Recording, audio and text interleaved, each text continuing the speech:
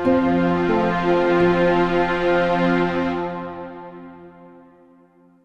you like paying less taxes? What if there's a way that you could achieve this while also investing in the lucrative world of exploration and mining? We're joined with WCPD founder and president Peter Nicholson to speak on the world of flow through investing and how it can help you come tax time. Peter, welcome. Yeah, thanks for having me, Brandon. And thank you for coming on. Well, first and foremost, what are flow through shares and why should all Canadians be aware of them? Can you walk us through an example of how this would benefit someone's taxes? Sure. Um, flow through shares uh, have been in the tax code since 1954. So that's three years older than RRSPs. Uh, the government of Canada wants you to do more RSPs. That helps with, of course, retirement, less pressure on the government. They want you to do TFSAs, that's tax free savings accounts. Again, another tool uh, like RESPs for the kids and flow through shares. So those are the categories. There really isn't any other government supported tax policies. Uh, there are other structures to save on tax, but those are usually what someone might be called a loophole. That taking advantage of the government. This is not that case. I want the listeners to, uh, the viewers to really understand. This is something the government wants more of because it's been in our our economy for so long since 54. Uh, Canada's blessed with with terrific mineralization and also oil and gas, but we've been weaning ourselves off that, of course, to get to zero carbon. But with new minerals, we need them more than ever to get to to zero to zero carbon. Those are the what we'll talk about as the critical minerals. Uh, a flow through share. Um, these these are small companies. Uh, the business is made up of small exploration companies are taking on the risk, very similar to venture capital. Um, they have. Uh, uh one out of 10, you get something exciting in a drill bit, and one out of 100, you get a junior mine. So the government understands that, and they want to shoulder that risk with our investors, and they will allow you to get a 100% to the tax, tax deduction on the money you invest, very similar to the RSP. So if you had a $300,000 salary, there's maximums of what you can buy of this number, but they're big maximums, roughly 30% of your income. So that could be $90,000 on 300, and that would bring your income down to 210,000. Now, the government understands these are small companies. If they find something big, then bigger companies buy them, like a Teck or a Barrick. Uh, meanwhile, they don't have much revenue. They're up there looking, uh, usually they don't have any revenue, but they've got expenses. So we would do, let's say, a $5 million drill program where a client would buy 300,000 of that five, $5 million drill program.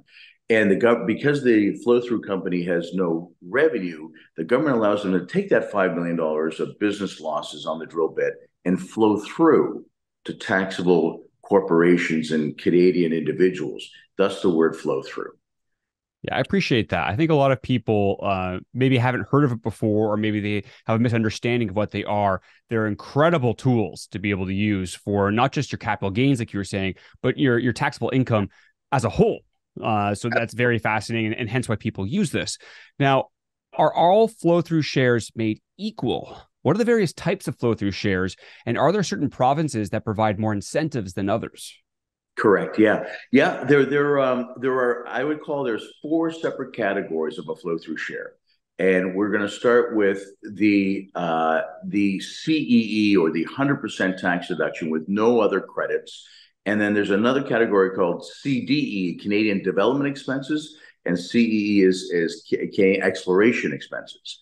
Uh, both of those two categories we like to give to because they fit quite nicely with corporations that have passive income. If you have an operating company like I do, uh, or I have a holding company, anything that have interest income, and for the first year, first time in years, I'm getting a four percent interest. Let's say on a million dollars of cash that's that's in my operating company. That's forty grand. We can shelter that forty grand, and it's taxed at fifty point six percent. So mm. those particular categories are perfect for, for corporations because they have no tax credits and an additional deduction after the 100% deduction. CEE is underground drilling. Okay, so you found the resource and you're generally going, uh, you know, sideways to see how big it is, not going down from above, uh, from uh, from above, drilling down. And because uh, there is less risk. You're again defining how large the resource is. Uh, you've already found it. They give you just the 100% tax deduction in CEE. So perfect fit for corps. CDE development expenses.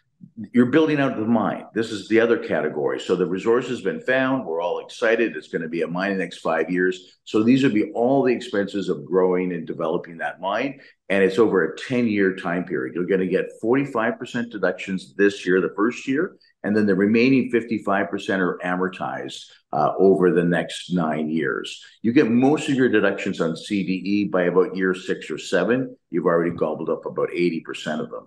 So those are our corporations. Now the exciting part is individuals, super flow through. Since 2001, the federal government has not only given you a 100% tax deduction if you're in grassroots exploration, as they call super, uh, there hasn't been a discovery in that particular land area and they will give you a 15% federal credit plus the 100% tax deduction. Wow. But only individuals can use credits. So that's why we, we at our firm at WCPD, we would tailor make uh, the structure to fit. You want something on your personal, your spouse probably needs some, maybe your adult children are the business, they need some, and of course your corporation needs some. So it's not unusual someone could have a, a multiple buys. And getting back to your provincial credits. So provincially, uh, Quebec is the best. They'll give you an extra 25% uh, Manitoba, Saskatchewan are 30% provincial credits. Quebec trumps them because there's no capital gain on the Quebec portion. So Quebec is by far the best, followed closely by Manitoba and Saskatchewan, and then uh, 20% in BC. There's 5% in Ontario, and then the rest are zero. So that would be Alberta residents, uh, uh, the Atlantic Canada. You would just get the 15% federal and no provincial. Once again, we would choose if somebody had a Quebec drill program, we would choose a Quebec taxpayer because the taxpayer has to be in that province to be able to use those provincial elections. BC drill programs, we give to BC um, taxpayers. And then the last piece is the the new critical mineral that just came out in April. Yeah, the most exciting thing I think has happened to our industry in well, I've been doing this for 36 years. I'm the I'm very excited about critical minerals.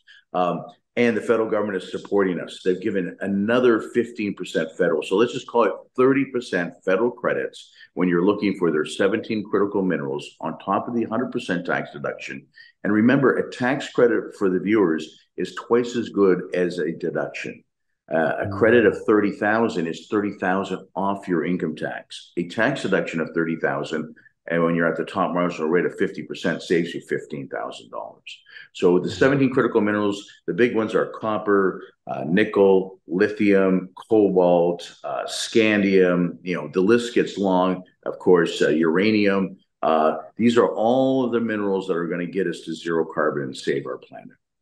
Yeah, I so that's a long-winded answer, but I mean, no, there's four it. categories, and uh, we'll tailor it to fit perfectly whatever that whatever that the client wants. I appreciate that very much. I've heard about flow through shares for years. I've taken part in it in the last couple of years myself, but that was the best explanation I've heard on the various different ones. So I do appreciate that very much. Sometimes a long-winded answer is a good answer. Uh. My next my next question for you: the the federal government is aiming to help facilitate investment and growth in our critical mineral space, just like you said. Critical mineral flow through shares are one of the incentives they created for this. Are you seeing this avenue increase in popularity since it was introduced? And is it enough to spur more investment into the industry? Yes, um, for sure. Uh, and I'll give you some history. Unfortunately for mining, they go back, you know, hundreds of years of, uh, you know, mankind. Even since five thousand, we've been needing copper and heavy metals, and to make our to make our utensils. Uh, uh, and as we got through the last hundred years, hundred fifty years, mining does not have a good reputation. It's starting, critical minerals is changing that. We've been uh, known as having bad human rights issues, of course, in Central America, South America, and Africa. We've had issues with the environment, right? Clear cutting and damaging the environment. So we've been, we've been, the mining industry has been improving on that. But it really took critical minerals to be in the forefront. It's been in the Wall Street Journal almost every week or every second week. It's been in the London Times. It's been in the Globe and Mail, the Financial Post. People are talking. We need ten times more of these these uh, these electric minerals to be able to hit zero carbon. So I went from being not very well liked at a cocktail party. Oh, you're in the mining business five, six years ago. I don't know how he got invited to this great event to now being embraced that, yeah, that I'm a positive a positive for the environment, not a negative. So that means a hell of a lot. And I think we're we're we're we're just in the inning number one. We're at the very beginning of a 20-year bull market in critical minerals. It just hasn't really taken off yet. But once people understand that we have to find 10 times more, that's a massive demand, and there's not a lot of supply. And we all know what that means in economics. Prices will go higher and money will be made. And I've been telling a lot of my clients it's time to pivot from your technology you've done so well over the last 20 years. The real estate you've done phenomenally well when interest rates have dropped for the last 40 years since 1979. Everything has done well. It's time for critical mineral commodities to have its uh, time in the sunshine. Yeah, once again, very well said. Well, lastly, if someone is looking at a hefty tax bill this year, how do they reach out to you to see about potential flow through investments? And when does that window tend to close in terms of being too late in a given year to find one that's right for them? Right. Well, look, we, we go right to the end. I go right to December 31st. Uh, we've always had some closings on the 30th. Um, we're, we're, we're trying to find, uh, uh, you know, new product. Uh, it is tighter in November, December. Uh, there is an infinite amount, especially what we do, what we're specializes in is what we call the GIC of tax reduction, where we find a liquidity provider to de-risk this volatile investment. So we can you can own the flow through shares for just one second at a time, and then and then sell it to a AGF Resource Mutual Fund, a Royal Bank Resource Fund, uh, Sprott's funds. So those are those are an interesting thing, and we can talk about that more for people that are interested. Uh, but I would say, you know, now is the time. The later you wait, uh, the harder it's going to be. Then we also have next year. We'll have 12 months of doing flow through shares. Uh, you tend to have the best pricing, I would say, usually in the summertime when it's a little quieter. Okay. Uh, from April to August is usually the best time for individuals to be buying this in corporations. If you're an issuer, if we have a viewer here that runs a mining company, um, they uh, they they like to get good premiums, and they're usually in the driver's seat now at the end of the year. Same thing with our critical, the same thing with our liquidity providers, and before, and usually in the early months before a federal budget. People are always these are so good, Brandon. They don't want to take any risks that there could be a negative tax law change. I don't see that coming. I've been talking. I'm based in Ottawa.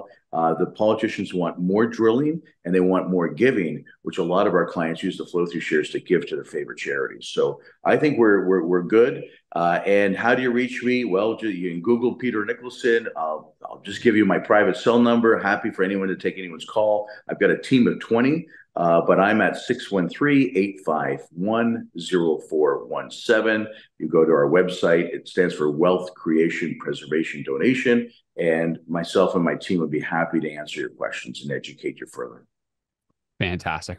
Once again, okay. Peter, thank you so much for your time. Always a pleasure speaking with you. And like you were just saying there, if anyone wants to reach out, whether you're an issuer, investor, corporation, you know where to turn to now. Thank you so much, Peter. Well done. Thank you. Bye bye.